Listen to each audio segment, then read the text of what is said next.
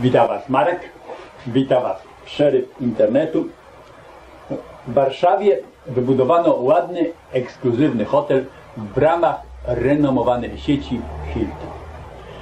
Za pewne koszty tej budowy były bardzo wysokie, ponieważ yy, właściciele znaleźli dość oryginalny sposób nadrobienia spraw stosując korwinowską zasadę wolność Tomku w swoim domku, wystawili do wiatru 250 zatrudnionych tam osób.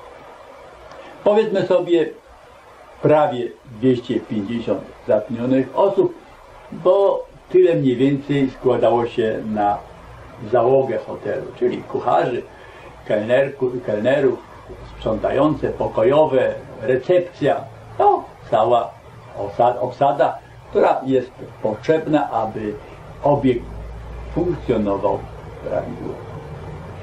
Ludzie ci pracowali często po 22 godziny na dobę. Zatrudnieni byli na podstawie tzw. umów zlecenia słusznie zresztą chyba nazywanych umowami śmieciowymi, bo jak widać nie dają pracownikom, zatrudnionym, bo na umowę zlecenie nie jest się pracownikiem, jest się zatrudnionym, nie dają takie umowy żadnych praw. Odprawiono ludzi bez pieniędzy, mimo że pracowali jak przysłowiowe prawdziwe woły, czy jak czasami mówi Korwin Mikke, białe murzyny. Teoretycznie rzecz biorąc, umowa była zawarta między pracownikami a pośrednikiem.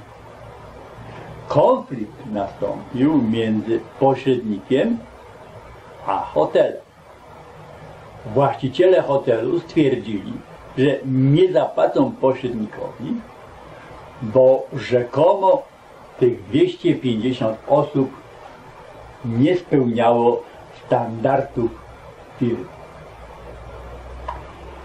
Powiedzmy sobie tak, żyję w tym kraju 62 lata i mogę się zgodzić, że niektórzy Polacy są niekompetentni, nie lubią pracować. Tylko nie chce mi się wierzyć, że nagle 250 osób w jednym hotelu okazało się kompletnie niekompetentnych i niespełniających standardów firmy. Sprawie podobno przygląda się Związek Zawodowy Solidarność. Byłoby to, powiem Wam szczerze, pocieszające, gdyby nie to, że ten związek przygląda się spokojnie już 25 lat, jak dymie się pracowników naszym kraju. Ja osobiście jestem ciekawy, czy sprawę skomentuje pan Janusz Korwin-Mikke. Czy w ogóle skomentuje. Jestem ciekawy, bo pan europoseł widzi wszędzie złodziei. I w Brukseli, i na wiejskim. Czy tylko złodzieje są tam?